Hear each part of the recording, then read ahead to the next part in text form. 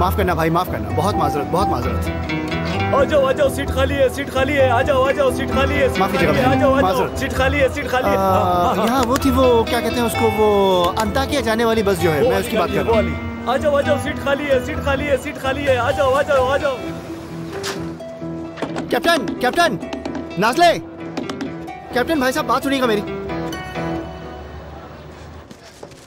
नाजले Dennis कैसी हो तुम यहाँ क्या कर रहे हो तुम्हें देखने आया था तुम्हारा इस बस में क्या काम है आखिर बताओ मुझे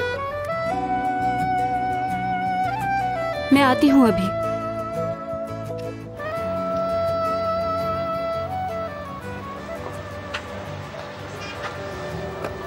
डेनिस मैं जा रही हूँ दिख रहा है लेकिन क्यों जिस तरह फरीद ने अपनी पार्टनरशिप से मुँह मोड़ा है क्या तुम अपने ख्वाबों से भी मुँह मोड़ लोगी? तुम्हें ऐसा लग रहा है क्या डेनिस?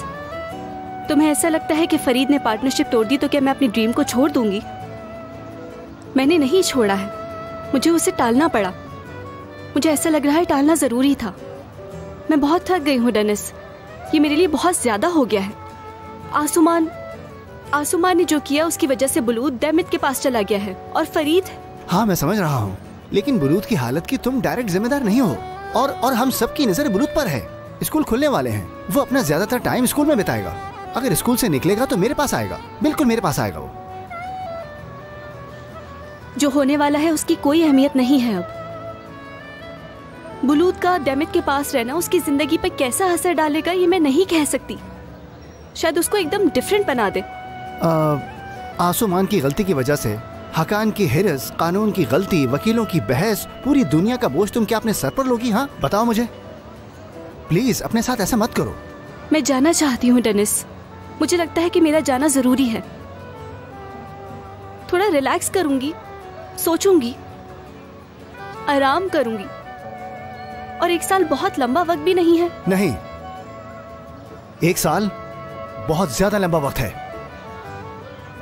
तुम नहीं जा सकती। ऐसा सुनहरा वक्त तुम खो नहीं सकती। काम करो अपने। ये ज़रूरी तो नहीं कि तुम फरीद के पास ही काम करो। एक रेस्टोरेंट ढूंढ लेंगे हम जहाँ तुम काम कर सको। प्लीज़ खुद से पीछे मत हटो तुम। प्लीज़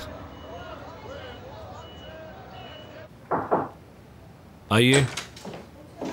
मिसेस इकबाल इस मीटिंग के नोट्स में कुछ कमी है?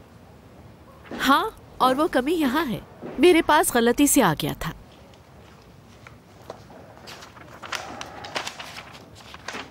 क्या चाहिए दामित कुछ भी नहीं। इकबाल मैम से मीटिंग के नोट के बारे में बात की थी और उसके बाद मैं सीधा तुम्हारे रूम में आ गई फरीद। वजह?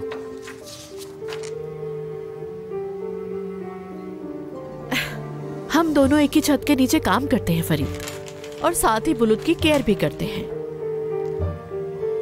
मैं अब तुमसे झगड़ा करना नहीं चाहती हूँ। अब सुलह कर लेते हैं प्लीज़ बुलुत की बात करते हैं। आज उसे स्कूल से मैं लेकर आऊँगा। बिल्कुल तुम ला सकते हो। ये तो अच्छा है और बुलेट भी तुम्हें बहुत मिस कर रहा है आजकल। ग्रेट मैं काम कर रहा हूँ तुम जा सकती हो। अच्छे से करना।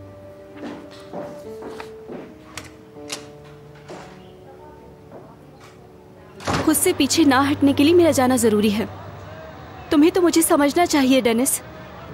मैं अभी इससे दूर रहना चाहती हूँ। खुद को वक्त देना चाहती हूँ। मुझे इस वक्त की ज़रूरत है।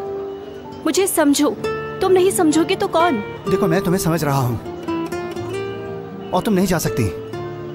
मैं तुम्हारे साथ हमेशा हूँ। देख लो यहाँ भी हूँ।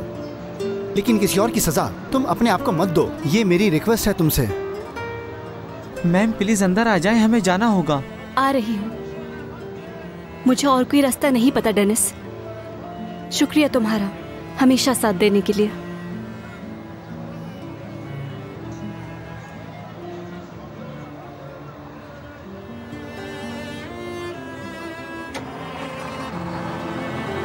नाजली मत जाओ। मेरा जाना ज़रूरी है डेनिस।